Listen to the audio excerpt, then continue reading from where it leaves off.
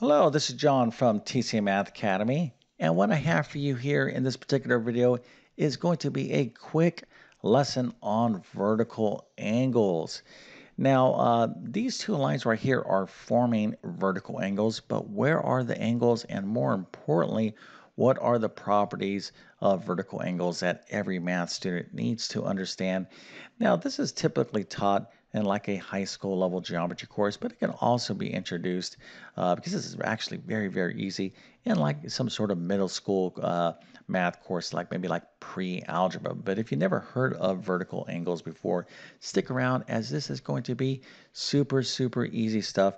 And in geometry, there's a lot of different type of angles that you need to study and angle properties. Vertical angles is probably the easiest angles that you will study. So I'm going to get into all of this in just one second, give you a couple quick examples about vertical angles. So again, this is not going to be that difficult.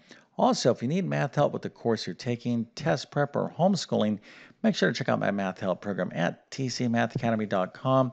You can find a link to that in the description below. And if this video helps you out, don't forget to like and subscribe, as that definitely helps me out. Okay, so why don't you kind of complete this sentence and put your answer into the comment section. Uh, vertical angles are what? Vertical angles are what? Okay. Well, if you said vertical angles are equal, well, that uh, indicates to me that you know what vertical angles are. Matter of fact, let's give you a nice little happy face at A plus a 100% and a few stars so you can celebrate your understanding of vertical angles because it seems to me that you know exactly what you're talking about. But let's go ahead and take a look at an example of actual vertical angles. Okay, so here we have two lines that cross. And anytime you have two lines that cross, and they can be, you know, uh, you know, any kind of angle, as long as you have two intersecting lines, you're going to have vertical angles formed. So here you can see this angle and this angle. These two angles right here would be vertical angles. And again, this is, you know, really basic important stuff in geometry. But the main property you need to understand is that vertical angles are equal or congruent, okay, which means they have the same angle measure. So if this angle right here is 30 degrees, and then this angle right here is going to be 30 degrees as well. So let's take a look at these angles right here. Okay, so you're like, oh, okay, these are vertical angles. I understand that. What about these angles right here? This angle and this angle, are they vertical angles? Matter of fact, they are. Okay, so these are vertical angles as well. And in this particular problem, we can actually figure this out because we have enough information here to get this angle. Okay, now how can we get this angle right here? Well, if this is 30 degrees, okay, this is 30 degrees right here. Well, from here to here is how many degrees? Well, how many degrees are in a straight line? That would be 180 degrees. So to get this angle right here, if this is 30, all I would have to do is take that 180 degrees minus 30 degrees. And if my math is right, that would be 150 degrees right here. So that would be 150. So 150 plus this 30 degrees right here would be this 30 degrees right here. So this is 150, that's 30. The entire line is 180 degrees. So let me kind of just make this nice and neat. So this angle right here would be 150 degrees. And of course, this is its vertical angle. So this angle right there is 150 degrees. And that's it. Okay, so vertical angles are congruent or equal.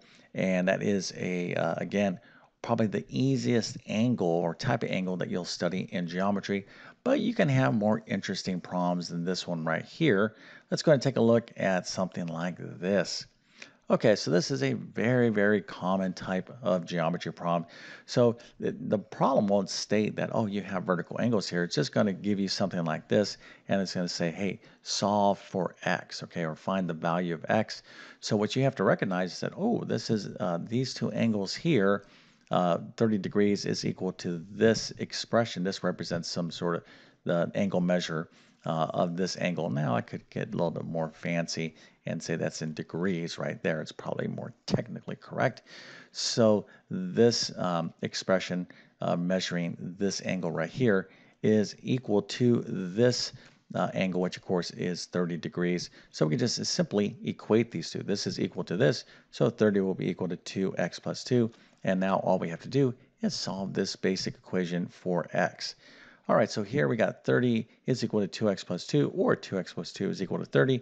I always like to solve equations where the variable's on the left-hand side. Doesn't make a difference. 30 is equal to 2x plus 2, or 2x uh, plus 2 is equal to 30.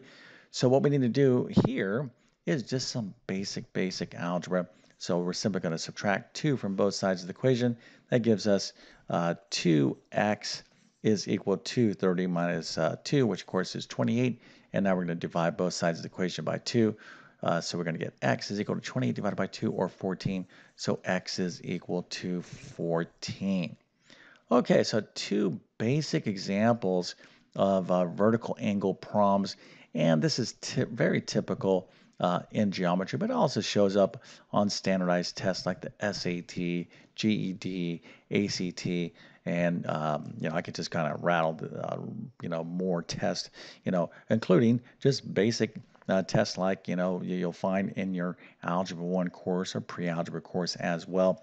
But in geometry, there are a lot of different types of angles okay? Beyond vertical angles there's alternate interior angles there's supplementary angles complementary angles uh, again a lot of different angles. So you just got to take this stuff one uh, one angle at a time and one property at a time. And that's why it's so important to take good notes. Okay. Matter of fact, uh, one thing I don't mention a lot in my videos, at least my more uh, recent videos, is I do um, offer um, uh, very detailed math notes. And if you need um, some math notes, you should see them in under the, the description of this video. You'll see the links uh, to my math notes in the description of this video. But I offer uh, pre-algebra and algebra notes. That's one uh, set of notes. I used, to sep- uh, I used to sell those separately. Uh, now I offer those together. Uh, so that's one note that I also have for uh, geometry uh, notes and algebra 2 trigonometry notes at this time. So you need some sort of reference on this, or if you really need to kind of understand this, you might want to check out like my full geometry course. But either way, if you need to know this stuff, you need to be taking notes because there's just too many things. And oftentimes this stuff is not that difficult, but it, you know, if you're like, oh, this is easy, uh, I'll, I'll remember it. No, you won't remember it because you're going to be, you know, um, getting so much information that you have to write stuff down. Okay, so with that being said, I definitely wish you all the best in your mathematics adventures. Thank you for your time and have a great day.